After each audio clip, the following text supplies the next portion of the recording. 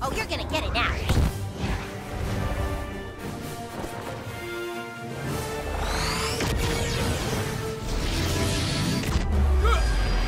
This is not how I like to party!